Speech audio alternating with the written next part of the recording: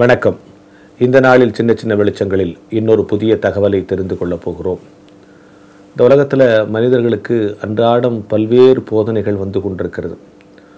ஒரு பக்கம் அதிகமாக ஆசைப்படாத எல்லாத்தையும் திறந்துரு எல்லாத்தையும் வெறுத்துடு அப்படின்னு ஒரு பக்கம் இன்னொரு பக்கம் அத்தனைக்கும் ஆசைப்படு எல்லாற்றுக்கும் உனக்கு உரிமை இருக்கிறது எல்லாவற்றையும் அடைய போராடு நீ எதை நினைக்கிறியோ அதை அடைவாய் என்று ஒரு பக்கம் சொல்லி கொண்டிருக்கிறார்கள். ஆசைப்படலாமா? ஆசைப்படக்கூடாதா? இப்படின்லாம் மன மக்கள் குழம்பி கொண்டிருக்கிறார்கள் ஆனால் உண்மை என்னென்னா ஆசைப்படலாம் தப்பு இல்லை ஆனால் பேராசைப்படக்கூடாது. இப்போது நமக்கு ஒரு கேள்வி எது ஆசை எது பேராசை? என்கிற கேள்வி அதை தெளிவுபடுத்தணுமா இல்லையா? அதை தெளிவுபடுத்துவதற்கு ஒரு கதை. இந்த கதை ரொம்ப நகைச்சுவையாக இருக்கும். நம்புகிற மாதிரியும் இருக்காது. ஆனால் ஆசையும் பேராசை வளர்க்குறதுக்கு இதை தவிர ஒரு நல்ல தெளிவான கதை இருக்கிறதா எனக்கு தெரியல. ஒரு பணக்காரர் தன் வீட்டில் ஒரு நாய் வளர்த்துட்டு இருந்தாராம் ரொம்ப காலமாக இந்த நாய் தெரு நாயோட ஃப்ரெண்ட்ஷிப்பாக இருந்துச்சான் டெய்லி இந்த தெரு நாய் வந்து இந்த நாயை பார்த்து பேசிட்டு போகுமா. நாய் பேசுமா? எப்படி பேசும்லாம் கேட்கக்கூடாது. கதை. அப்போது இந்த நாய் வந்து டெய்லி பார்த்து பேசிட்டு போகும்போது ஒரு நாள் இந்த தெருநாய் கேட்டுச்சான் உனக்கு இந்த வீட்டில் இருக்கிறது போர் அடிக்கலையா? வீட்டுக்குள்ளேயே இருக்கிறியே. இவங்க போட்டுறதை தின்னுட்டு என்ன பார் நினச்ச இடத்துக்குலாம் போகிறேன் எங்கெங்கே ஆசைப்படணும் அங்கெல்லாம் போவேன். என்னென்ன வேணுமோ எல்லாம் சாப்பிடுவேன்.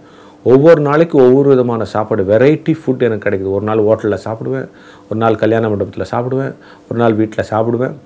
இப்படி நினைக்கிற இடத்துலலாம் நான் சாப்பிடுவேன்.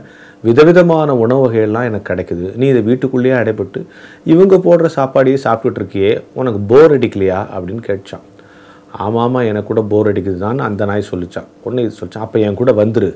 வீட்டை விட்டு வெளியே வந்துரு. சந்தோஷமாக இருக்கலான்னு அதுக்குள்ளே இருக்கிற அந்த நாய் சொல்லிச்சான் நானும் வரணும்னு தான் யோசிச்சுட்டு இருக்கேன் நான் ஒரு காரியத்துக்காக கொஞ்சம் வெயிட் பண்ணிகிட்டு இருக்கிறேன்னுச்சான் என்ன காரியத்துக்காக வெயிட் பண்ணிகிட்டு இருக்கேன் அது ஒன்றும் இல்லை. என்னை வளர்க்குற எஜமானுக்கும் ஒரு பொண்ணுக்கும் ஒரு சண்டை நடக்குது. அந்த சண்டை எப்படி முடியுதுன்னு பார்க்கலான்னு காத்துக்கிட்டு இருக்கிறேன். அதுக்கு தெருநாய் சொல்லிச்சான் அவங்க சண்டை போட்டால் என்ன? போடலனா என்ன? அது எப்படி முடிஞ்சால் நமக்கு என்ன? நீ தப்பிச்சு வர வேண்டியதானே இல்லை இல்லை. என் எஜமானுடைய பொண்ணு ஒரு பையனை லவ் பண்ணுறா இந்த ஆள் கட்டி கொடுக்க மாட்டேங்கிறான். அதுக்காக நான் வெயிட் பண்ணிகிட்ருக்கேன். அவன் கட்டி கொடுத்தா என்ன? கட்டி கொடுக்கலன்னா என்ன?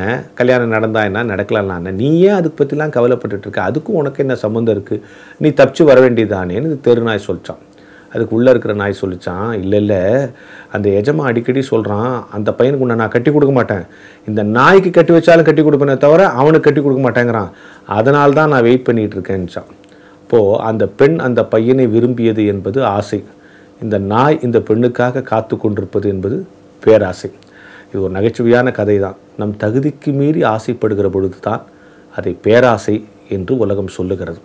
பரிசுத்த வேதாகமத்தில் கூட உங்களுக்கென்று அளக்கிற அளவின்படியே நீங்கள் எல்லாவற்றையும் பெற்றுக்கொள்ளுங்கள் அதிகமாக ஆசைப்படுவதனால் பாவம் செய்ய தூண்டப்படுவீர்கள் என்று பல்வேறு விதங்களில் வலியுறுத்தப்படுகிறது. எனவே அருமையானவர்களே நம் தகுதிக்கு நம் திறமைக்கும் நம் உழைப்புக்கும் வரவேண்டியதற்காக நாம் போராடுவது என்பது ஆசை. நம் தகுதிக்கு மீறி நம் எல்லைக்கு மீறி நம்முடைய எல்லா விதமான திறனுக்கு மீறி அநியாயமாய் ஒன்று நம்மிடத்தில் வந்து சேர்ந்துவிட வேண்டும் என்று விரும்புவது அதற்காக முயற்சிப்பது பேராசை என்பதை உணர்ந்து கொண்டு இந்த நாளை தொடங்குவோம்.